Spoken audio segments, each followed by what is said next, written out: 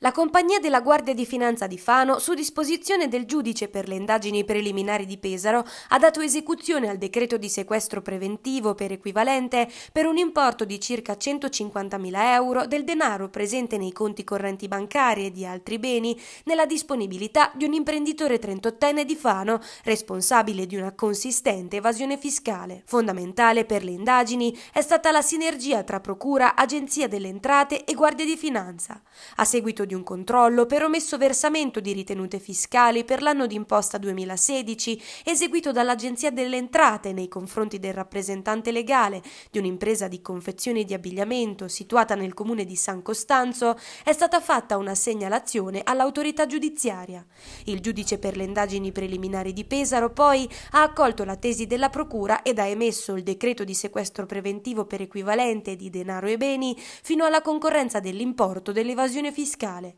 Infine, la compagnia di Fano ha effettuato gli ulteriori accertamenti per la ricostruzione della capacità patrimoniale e finanziaria dell'imprenditore trentottenne. Al termine delle indagini è stato possibile sottoporre a sequestro alcune disponibilità liquide presenti su conti correnti bancari pari a circa 12.000 euro e due unità immobiliari del valore di circa 140.000 euro, raggiungendo così la capienza prevista.